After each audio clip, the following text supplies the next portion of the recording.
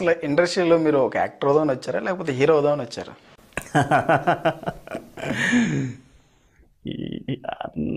I'm not such ambitious person అంటే ఓ hero అవ్వాలని కాదు కానీ ఫస్ట్ ఇక్కడ యాక్టర్ అని తెలియడం ఫస్ట్ కష్టం అండి ఇక్కడ. ఇండస్ట్రీలో సినిమా ఇండస్ట్రీలో వీడు యాక్టర్ అని తెలియడం కష్టం. తర్వాత యాక్టర్ అవ్వడం అనేది మంచి యాక్టర్ అవ్వడం అనేది కానీ అది తర్వాత ఉంటుంది కానీ యాక్టర్ నలుగురితో మనం అనిపించుకోవడం మాత్రం హ్యాపీగా ఉంటుంది. బ్యాక్గ్రౌండ్ ఉన్న వాళ్ళం కాదు కాబట్టి ఏమీ తెలియని వాళ్ళం కాబట్టి ఇక్కడికి వచ్చాక ఎవరైనా ఏమైనా ఛాన్సెస్ వస్తాయేమో అవకాశం అండి ఇక్కడ మనం I can do any character but opportunities అనేవి దొరకాలి. ఆ ఆపర్చునిటీస్ని మనం సరిగా వినియోగించుకోవాలి సేమ్ టైం.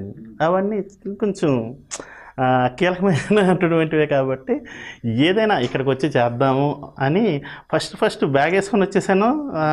సినిమా ఇండస్ట్రీలో ఏదైతే అది అవుతుంది అని. నాకు అవి బాగా ఇన్ఫ్లుయెన్స్ చేసే కాబట్టి. మరి మంచి యాక్టర్ అయ్యారు మరి? మంచి యాక్టర్ అవ్వాలంటే అవకాశాలు రావాలండి ఫస్ట్ ఆఫ్ ఆల్. నెక్స్ట్ నేను కొన్ని నమ్మేదాటిలో everything is pre return nothing can be re return. మనం అది ఏంటి ఎలా వస్తుంది అనేది ఎప్పుడు అవకాశం వస్తుంది అనేది చెప్పలేం. ఎప్పుడైనా రావచ్చు అవకాశం. బట్ నాకు ఒకటి ఎందుకు అవ్వగలననే కాన్ఫిడెన్స్ ఏంటంటే నేను టీచర్ని కాబట్టి స్టూడెంట్స్ అందరికీ కూడాను లెసన్ చెప్పేటప్పుడు కూడా మొత్తం మా దాంట్లో మొత్తం అంతా కూడా సబ్జెక్ట్ అంతా ఉండాలి. అది నేను ఒక ఫార్టీ మినిట్స్ కంటిన్యూస్గా నేను చెప్పేవాడిని పిల్లలకి. మళ్ళీ ఇంగ్లీష్ లాంగ్వేజ్ చెప్పేటప్పుడు కూడా పిల్లలకు చెప్పేటప్పుడు కూడాను వాళ్ళకి ముందు అర్థం కావాలి. అంటే whatever I have the knowledge it's not important I have to undergo the children knowledge and I have to teach is important నా దగ్గర ఇంత నాలెడ్జ్ ఉంది నేను చెప్పేస్తానంటే కాదు అది. వాళ్ళకి అర్థమయ్యేటట్లు చెప్పాలి. అది అర్థమయ్యేటట్లు చెప్పాలంటే దానికి చాలా ఎగ్జాంపుల్స్తోని చాలా విశ్లేషణగా చాలా స్పష్టంగా కూడా మనం చెప్పాలి కాబట్టి నాకు ఎందుకు అనిపించింది? మనకి ఎవరైనా డైలాగ్ ఇచ్చినా కానీ ఆ, మెమరీ పవర్ కూడా ఉంటుంది. జనరల్గా టీచర్స్ అందరికీ కూడాను మొత్తం లెసన్ అంతా గుర్తుపెట్టుకొని చెప్తారు కాబట్టి నాకు ఇంకా యాక్టర్ని అయితే అవ్వగలను. Whatever they can give that character that వాళ్ళకి నేను సాటిస్ఫై చేయగలను అనేది నాకైతే హండ్రెడ్ పర్సెంట్ కాన్ఫిడెన్స్తో వచ్చేసాను. ఏదో సోమవారం వచ్చి శుక్రవారం నాడు పెద్ద మనం సెలబ్రిటీ అవ్వాలని అది అలాగనుకొని రాలేదు కానీ నాది ఇది ఒక ప్రొఫెషన్ కంప్లీట్గా ఒక ప్రొఫెషన్. అంటే మార్నింగ్ స్కూల్కి వెళ్ళేవాళ్ళం ఈవినింగ్ వచ్చేవాళ్ళం. ఇది కూడా నాకు ఒక ప్రొఫెషన్గా తీసుకున్నాను అంటే ఆ, ఎవరు ఏది ఇచ్చినా సరే చేయగలను. ఆ కాన్ఫిడెన్స్ అయితే నా మొదటి నుండి ఉండేది. కానీ ఎక్కడికి వెళ్ళినా సరే నాకు ఆ అప్లాట్స్ వచ్చాయి. అంటే ఏ లొకేషన్లోనైనా సరే గణపతి గారు బాగానే చెప్తారు పర్వాలేదు. మీకు చిన్నప్పటి నుంచి ఉంటుంది అసలు నటుడు అవ్వాలని? అంటే మా నాన్నగారి ఇన్ఫ్లుయెన్స్ కొంచెం ఉంటుందండి. మా నాన్నగారు బాగా అంటే ఫార్మర్ అయినప్పటికీ మనకి పల్లెటూరులో ఏముంటుందంటే ఒక పండగ వచ్చింది అనుకోండి అదే ఒక శివరాత్రి వచ్చినా లేకపోతే ఈ దుర్గా నవరాత్రులు వచ్చినా కూడా వేస్తుంటారు కదా. అక్కడ మా నాన్నగారు నాటికలు నాటకాలు బుర్రకథలు ఇవన్నీ ఒక స్టేజ్ ఆర్టిస్ట్. చాలాసార్లు సన్మానంగా కూడా మా నాన్నగారికి అందాయి. అది ఎక్కడో ఉండింది మా ఇంట్లో ఎవరికీ రాలేదు కానీ నాకు అనిపిస్తూ ఉండేది. వాళ్ళు ఆ- స్టేజ్ ఒక ఇంకా సిక్స్ ఓ క్లాక్కి స్టార్ట్ అవుతుంది ప్రోగ్రామ్ అనగా మేము ఫైవ్ ఓ క్లాక్ నుండి ఆ స్టేజ్ మీద చేసేవాళ్ళం. మా ఫ్రెండ్స్ అందరం కూడా ఏదో సరదాగా చేసేవాళ్ళం. అది ఎక్కడో ఇన్ఫ్లుయెన్స్ ఉంది మా మరి ఆ బ్లడ్లో ఉందేమో నాకు తెలియదు కానీ సరదాగా నేను అనుకున్నాను ఓకే మా నాన్నగారు కూడా ఇప్పుడు లేరనుకోండి ఈ టీవీ ప్రోగ్రాంలో అయితే టూ థౌజండ్ సిక్స్టీన్ వరకు ఉన్నారు. చూసేవాళ్ళు టీవీలో చూసి. "ఆ, బాగుందిరా అని అంటుండేవాళ్ళు. చాలా హ్యాపీ ఫీల్ అయ్యేవారు. కలిసి కూడా చూసేవాళ్ళం టీవీలో. నా ప్రోగ్రామ్స్ అయితే శంకర్ దగ్గర నుంచి శకలక శంకర్ అన్న దగ్గర నుంచి ఉన్నాను కాబట్టి అభి అన్న దగ్గర కానీ ఆది దగ్గర కూడా టీమ్ లీడర్ అయిన తర్వాత కూడా కొన్ని ఎపిసోడ్స్ వరకు ఉన్నారు. చూసి ఎంజాయ్ చేశారు. అసలు మీ దేవురండి అసలు? మాది శ్రీకాకుళం దగ్గర ఆమదల వలస అండి. మేము చిన్నప్పుడు శరత్బాబు గారిని చూసేవాళ్ళం బాగా దగ్గర నుంచి చూసేవాళ్ళం. మా ఊర్లో ఉండేవాళ్ళు కాబట్టి. అక్కడే నా స్టడీస్ అయిన తర్వాత నేను పోస్ట్ గ్రాడ్యుయేషన్ అప్పటికి వైజాగ్ వచ్చేసి ఇంకా అక్కడి నుంచి నా post graduation MA English literature అయిన తర్వాత బిఎడ్ అయిన తర్వాత ఇంకా అక్కడి నుంచి నేను ఇంకా స్కూల్స్లో జాయిన్ అవ్వటం చెప్పడం అప్పటి నుంచి మొదలెట్టానండి. నా గ్రాడ్యుయేషన్ పోస్ట్ గ్రాడ్యుయేషన్ అయిన వెంటనే నేను ఇంకా చేసుకుండేవాడిని. అంటే నాకు ఎర్నింగ్ చేసుకోవటం అంటే ఖాళీగా ఉండడం నాకు యాక్చువల్లీ ఇప్పటికీ ఇష్టం ఉండదు. మార్నింగ్ అయితే యాక్చువల్గా ఒక పర్టికులర్గా మూవీస్ అనుకుంటారు. నేను ఇప్పుడు మన గెటప్ సీన్ గారు ఎవరు? చిన్ని కృష్ణ గారు లండన్ బాబులు వీడి తేడా ఇట్లాంటి మూవీస్ చేశారు. వా- ఆయనకి చెప్పే ఆయనకి చెప్పి ఒక వెబ్ సిరీస్ మారుతి గారిది ఇప్పించారు. అదొకటి రీసెంట్గా చేసిన దాంట్లో. అలాగే మా గోల్మాల్ అని మా మల్లెమాల వాళ్ళదే. ఇప్పుడు ప్రజెంట్ చేసినటువంటి సీరియల్స్లో మన సురేష్ గారు డైరెక్టర్ గారు.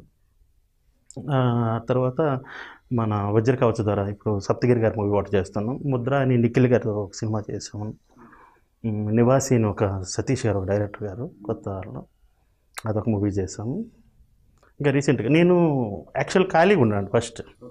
మార్నింగ్ నాకు ఈవినింగే ఏదో ఒక దేనికి వస్తే దేనికి వచ్చినా సరే అది ఇమీడియట్గా అటెండ్ అయిపోవడం. నాకు ఏదో ఒక డిస్ప్లేకి అటెండ్ అయిపోవాలి. ఫస్ట్ నాకు కెమెరా ముందు వెళ్ళడం అంటేనే సరదా.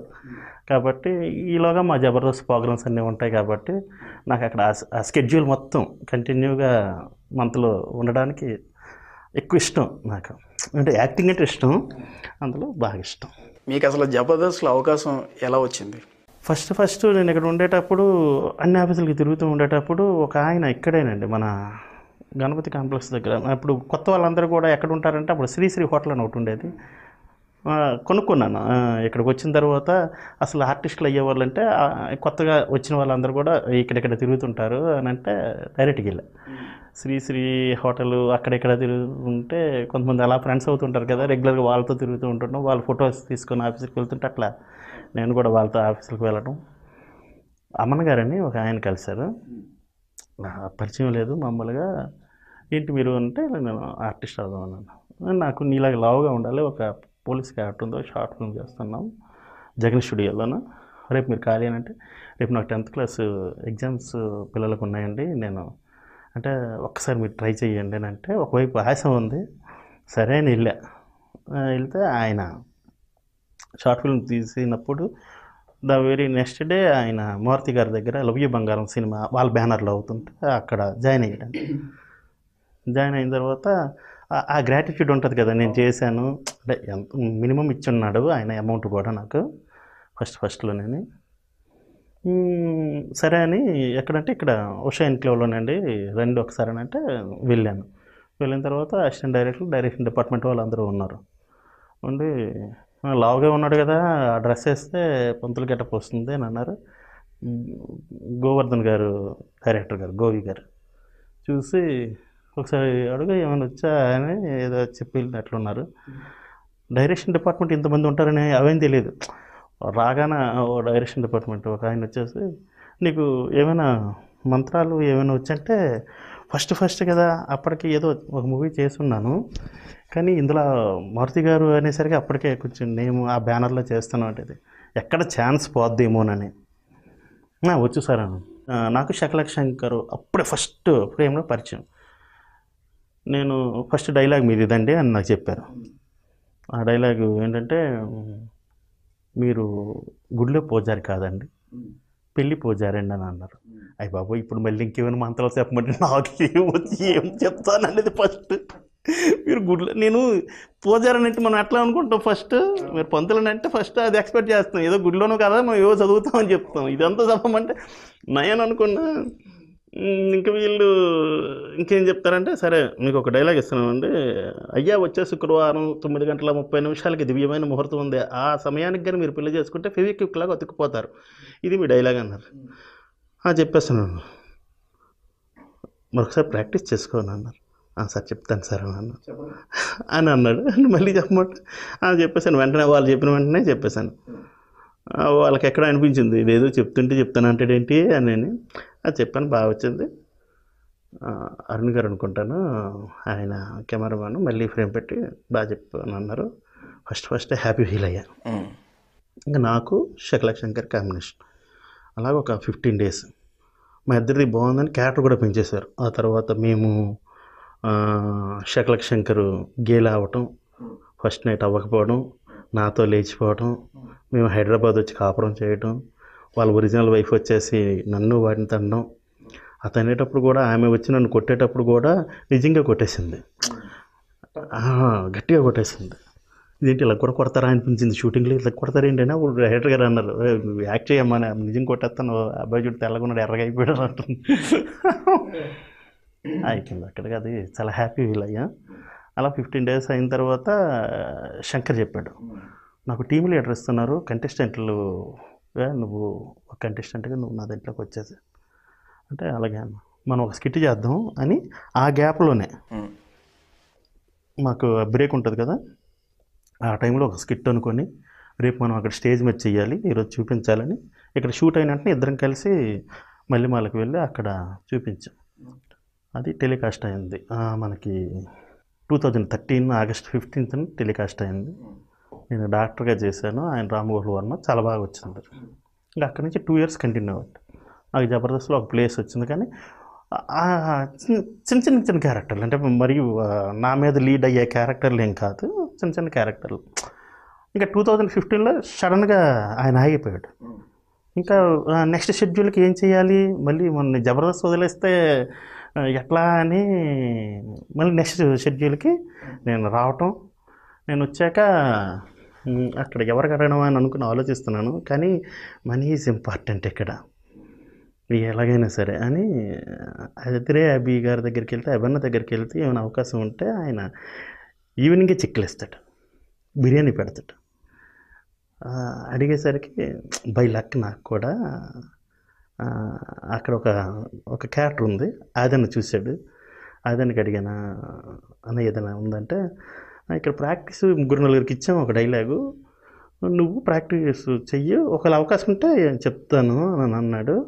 తర్వాత నేను చెప్పిన తర్వాత అభిన్న దగ్గర తీసుకెళ్ళి గణపతి గారు బాగానే చెప్తున్నారు అని ఫస్ట్ పరిచయం చేశాడు. అంటే అప్పటికి పరిచయం ఉన్నా బాగానే చెప్తాడు అని చెప్పేది మాత్రం అదన్న. ఇక అక్కడి నుంచి సరే అని ఆ రోజు ఆ స్కిట్ బాగా వచ్చింది. ఈవినింగే నాకు చెక్ ఇచ్చాడు. ఫస్ట్ దానికే చెక్ ఇచ్చారు. చెక్ ఇచ్చిన వెంటనే చాలా హ్యాపీ ఫీల్ అయ్యా. మీరు ఎవరు ఏం తింటే మీరేం తింటారు మీరేం తింటారు అని బిర్యానీ. ఏ మన చికెన్ చికెన్ మటన్ ఏదంటే తీసుకురమ్మని చెప్పి ఆర్డర్ ఇచ్చేవాడు కుర్రాలు తీసుకొచ్చేవాడు ఈవినింగ్ ఇచ్చేవాడు. నెక్స్ట్ షెడ్యూల్ నుంచి గణపతి గారు మీకు ఇంత ఇస్తాను అమౌంట్. మీరు అది అని చెప్పాడు అదన్ చెప్తే ఆదన్నేమో నేను అక్కడి నుంచి ఎప్పుడైతే మా నా ఆదన్ రైటర్ కాబట్టి ఇంకా అక్కడ వరకు వెళ్తూ ఆదానికి చిన్న చిన్న మెసేజ్లు పెడుతుండేవాడిని. అప్పుడప్పుడు.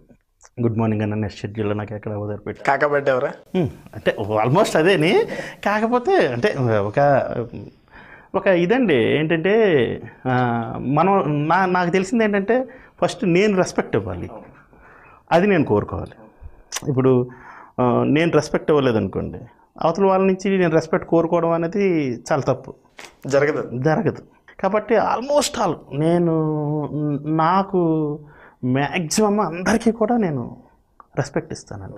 అందువల్ల నేమో మరి నా ప్రౌడ్ అంటే అనగానే నాకు మ్యాక్సిమం అందరు కూడా అలా మాట్లాడడానికి కారణం నేను అలాగే ఇచ్చి చెప్తూ ఉంటుంటాను నాకైతే బాగానే మంచి రిసీవ్ చేసుకొని చెప్తానండి. ఏదో ఒక క్యారెక్టర్ అయితే ఉంటుంది పక్కా ఉంటుంది. అని అదన్నా కంప్లీట్గా వన్ ఇయర్ నాకు. అబన్న దగ్గర ఆయనకి అప్పటికే నేను ఆ అబన్న దగ్గరే అదన్నకి వైఫ్ క్యారెక్టర్లు చాలా చేశాను. ఎంత మంది తిరుగుతుండేవారండి ఇక్కడి నుంచి ఇక్కడ అన్నపూర్ణలు ఉండేటప్పుడు. అసలు ఇంత ఇంత కష్టం నాకు నాకు నాకు ఈజీ దొరికిందా లేకపోతే ఎలా దొరికిందా అనేది నాకే తెలియదు కానీ అదృష్టం. అదృష్టమేనండి. పక్కాగా అదృష్టం రాసిపెట్టి ఉందేమో కానీ ఆ ప్లాట్ఫామ్ దొరకడం చాలా కష్టం. అయ్య బాబు వాళ్ళ ముందు చేస్తుంటే మాకు ఆ సాటిస్ఫాక్షను ఇది ఉంటుంది బాగుంటుంది అది మన ఇప్పుడు ఆదన్న అక్కడి నుంచి రావటం వన్ ఇయర్ పాటు కంటిన్యూ చేయటం. ఎప్పుడు అబన్న స్కిట్ అవ్వటం చెక్కులు ఇచ్చేయడం బిర్యానీ పెట్టడం. శకలక శంకర్ గారు ఇచ్చేవారు కదా? మీకు మొట్టమొదటిగా వచ్చిన ఆదాయం ఎంత? థౌజండ్ రూపీస్ అండి. మామూలుగా అమౌంట్ ఇచ్చేశారు. ఇయర్లో మీ ఎంట్రన్స్ ఆ చెక్ ఎప్పుడు అందుకున్నారు? నేను టూ థౌజండ్ థర్టీన్లోనే నేను టూ థౌజండ్ ట్వెల్వ్లో వచ్చాను. థర్టీన్లోనే నాకు అమౌంట్ వచ్చింది. ఫస్ట్ ఫస్ట్ నేను చేసే వాటిల్లో అన్నపూర్ణ నుంచి కూడా మనంలో కూడా ఒక చెక్ వచ్చింది. అంటే అది కరెక్ట్గా గుర్తులేదు. కానీ ఇది లవ్ యూ బంగారం కూడా వాళ్ళు కూడా చెక్కే ఇచ్చారు. బిగినింగ్ కదా వాళ్ళు ఏదో ఇస్తే అమౌంట్. నాకు అప్పుడు మనీ కూడా నేను స్కూల్లో చేసేవాడిని. నువ్వు మీరు ఇస్తే మీరు అమౌంట్ ఇస్తారా నేను వస్తానా అనేది ఉండేది కాదు. నేను చెయ్యాలి కాబట్టి నాకు స్కూల్లో అమౌంట్ ఎవ్రీ మంత్ వచ్చేది. నా దగ్గరే డబ్బులు ఉండేవి. నాకు ఇంకా ప్రాబ్లం ఉండేది కదా. అసలు ఎప్పుడు ఎప్పుడు లేదండి.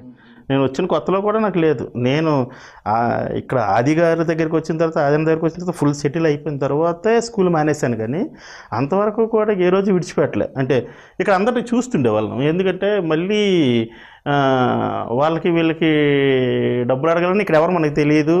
అడిగినా చీప్ అయిపోతామేమో నా చేతిలో ఉంది కాబట్టి ఏ రోజు కూడా నేనైతే ఆ ఫైనాన్షియల్ ప్రాబ్లమ్ ఆ క్రైసిస్లోకి ఏ రోజు వెళ్ళలేదు. హ్యాపీగా ఉన్నాను కానీ అవన్నీ ఇచ్చేవాడు